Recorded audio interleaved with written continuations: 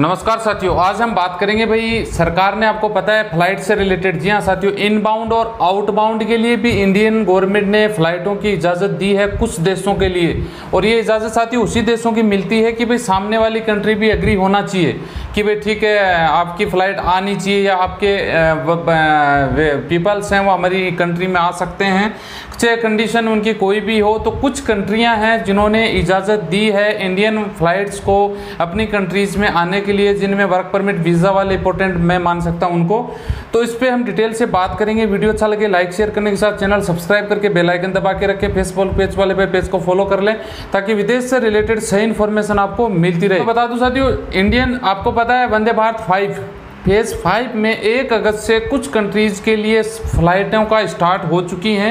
मैं बता देता हूँ, इसमें आपको इसको बबल्स बोल सकते हैं। बबल्स का मतलब एक बुलबुला बोल सकते हैं, जो थोड़े समय के लिए इसको एक बबल्स लैंग्वेज में बोला जाता है। बाकी ये अस्थायी तौर से नहीं है, अस्थायी तौर से फ्लाइटें स्टार्ट की गई हैं। पूरी फ्लाइटें एक महीने का इसमें टारगेट है। आगे भी फ्लाइटें रेगुलर रहेंगी, ऐसी कोई बात नहीं है, लेकिन वो एक बोलने का एक तरीका होता है। अभी तक ये अगस्त तक का टाइम दिया गया है। इसमें मैं बता दूँ साथियों, द्विपक्षीय हवाई बुलबुले की स्थापना के बाद केंद्र ने America, Canada, Qatar, Oman, UAE, Singapore, UK Frankfurt यानी France, Paris, London, Saudi Arabia, Bahrain, New Zealand, Philippines आदि के देशों से। जी हाँ साथियों, इन देशों में इंडिया के लोग जा सकते हैं। भाई, आपके पास वर्क परमिट वीज़ा हो, आपके पास कौन सा वीज़ा हो, इसमें वीज़ा कैटेगरी का टाइम नहीं दिया गया है।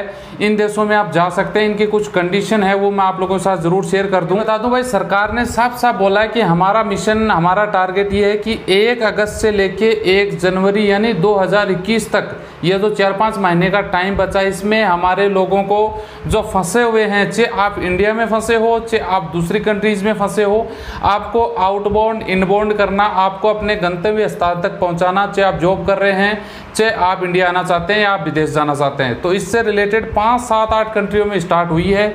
आने वाले टाइम में हर रोज़ नए अपडेट आते रहेंगे भाई। देखिए, ऐसी कोई बात नहीं है।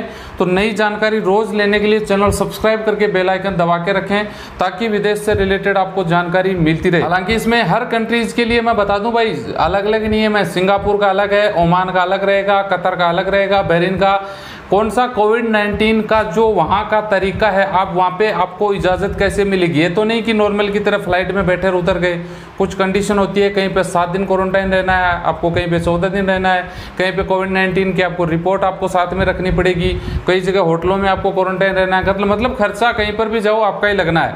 तो आप समझ चुके हैं, इन कंट्रीज़ में इंडिया से भैया फ़्लाइट स्टार्ट हैं। आपको जहाँ कौन सी कंट्रीज़ जाना है, पूरी प्रोसेस करिए और आप इस कंट्रीज़ में जा सकते हैं। शॉर्ट तरीके से बताया है। लॉन्ग टाइम अलग अलग कंट्रीज़ के अलग अलग वीडियो के माध्यम से जानकारी मैं देता रहूँगा। जय हिंद, वंदे